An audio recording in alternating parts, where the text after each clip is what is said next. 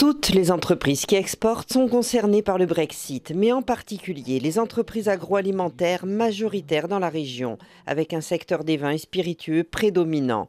Et elles étaient nombreuses ce jeudi à s'inquiéter des conséquences probables de cette sortie de l'Union du Royaume-Uni sur leur activité. Le Royaume-Uni, c'est une grosse part de notre exportation, enfin de, nos ventes, et donc euh, voilà, on craint quand même que ce soit...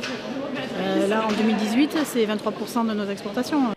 Inquiétude et interrogation également pour la centaine d'entreprises de taille intermédiaire du club néo-aquitain et leurs 52 000 salariés. Que ce soit dans l'aéronautique, la chimie ou les services, la plupart de ces sociétés travaillent aussi avec la Grande-Bretagne. Donc il y a beaucoup de problématiques qui se posent en termes à la fois de douane, de délai de livraison, euh, de réglementation, d'autorisation sur le sur le marché.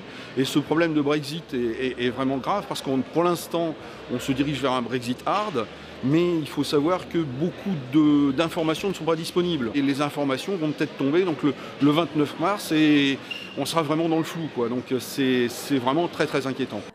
En attendant, les services de l'État et des douanes en particulier s'efforcent de les rassurer et surtout de les aider à se préparer à cette échéance. Demain, euh, le Royaume-Uni devient l'équivalent d'un pays tiers. Donc à partir du moment où le Royaume-Uni est l'équivalent de la Chine, il faut pouvoir se dire que demain, ce qui se faisait de manière très simple, c'est-à-dire la liberté de circulation euh, des marchandises entre nos différents pays, l'Union européenne et le Royaume-Uni, demain, ça va se complexifier. Ça va nécessiter euh, de, prendre, euh, mettre en place un certain nombre de processus et notamment d'intégrer tout ce qui concerne les formalités douanières. On peut voir aussi euh, de formidables opportunités.